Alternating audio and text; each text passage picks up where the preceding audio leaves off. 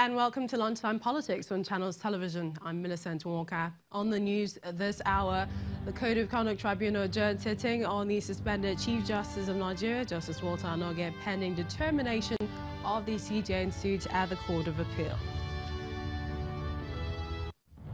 The Nigerian Bar Association, NBA, embarks on two-day nationwide boycott of court activities.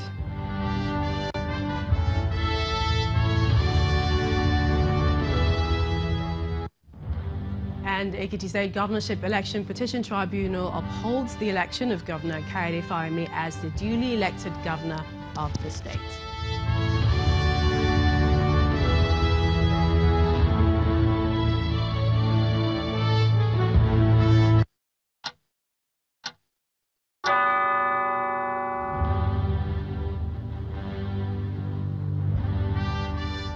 Welcome everyone to Lunchtime Politics. We begin with a meeting of the National Judicial Council NJC expected to hold in the nation's capital today as part of the moves to resolve the legal logjam arising from the suspension of the Chief Justice of Nigeria, Justice Walter Onnoghen. It was gathered that neither the embattled Justice Onnoghen nor the acting CJN, Justice Ibrahim Mohammed, is expected to preside over the meeting. President Muhammadu Buhari had on Friday suspended Justice Onnoghen as CJN on the strength of an order by the Code of Conduct Tribunal. The order also required the President to swear in the next most senior justice of the Supreme Court as the Chief Justice, pending the determination of the suit against Justice Onnoghen. The suspended CJN is facing charges of false assets declaration at the Code of Conduct Tribunal. The suspension of Justice Onnoghen has triggered criticisms from various quarters, including the international community. They expressed reservations about the implication of the president's action, especially coming close to the general elections. In the meantime, the Code of Conduct Tribunal adjourned hearing on the trial of the suspended Chief Justice of Nigeria over alleged failure to declare some of his assets indefinitely.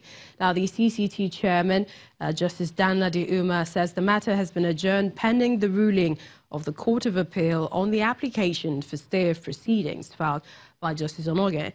When the proceedings resumed, two out of the three members of the tribunal were in attendance, Mr. Umar and Mrs. Julie Anabor, who ordered the suspension of Justice Onnoghen. Prior to the ruling, the CCT chairman tendered an apology for the delay over the sitting. Although he did not give reasons for the delay, sources within the CCT told Channels Television that the hearing was delayed because of the absence of the third member of the tribunal, Mr. Williams Adze.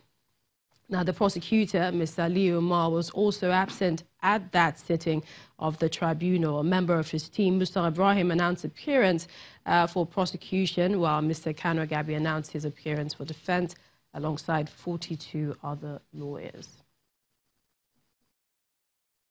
We were here last on the uh, 23rd of uh, January when the matter was adjourned to today for the preliminary objection that uh, we had filed on behalf of the CJN. Uh, on 24th January, we were before the Court of Appeal, and the Court of Appeal granted an order staying proceedings before this tribunal until the motion before the Court of Appeal is determined. So in obedience to that uh, order from the Court of Appeal, this tribunal has today adjourned all further proceedings in this matter pending the determination of the appeal. And that's why the matter here has been adjourned sine die.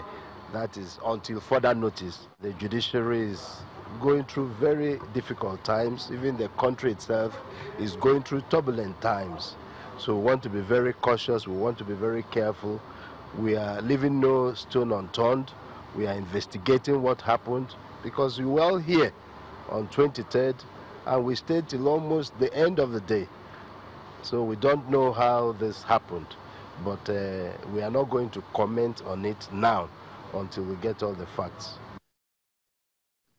Well, yesterday was quite a day of protest in the nation's capital, Abuja, as some lawyers and opposition party members called for the resignation of the Vice President, Professor Yemi and the Attorney General of the Federation, accusing them of being complicit in constitutional breach, even though they are lawyers. Well, they also want the Vice President and the Attorney General to face disciplinary action by the bar, while the acting CJN should be dismissed for presenting himself to be sworn in. These demands were contained in a petition submitted to the headquarters of the NBA in Abuja during the protest. Our correspondent Terry Kumi was there. It's a Monday morning, and these lawyers have taken up an unusual task, a protest in front of the NBA headquarters against the suspension of Justice Walter Onnoghen as Chief Justice of Nigeria. Among the crowd are women and youths.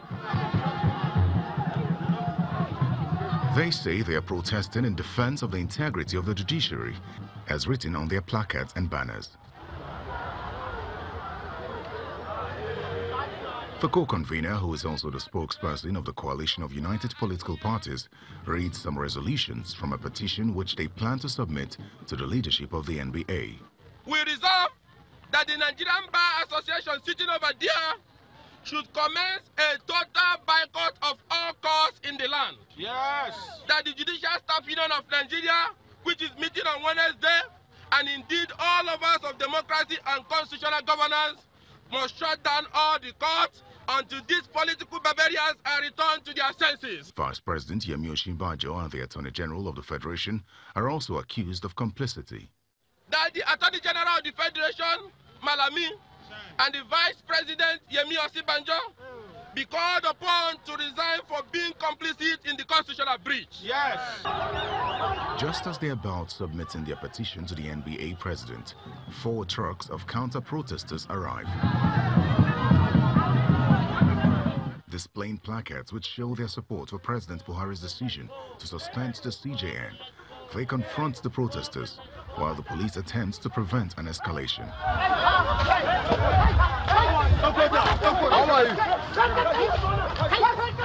Terry Ikumi, Channels Television News.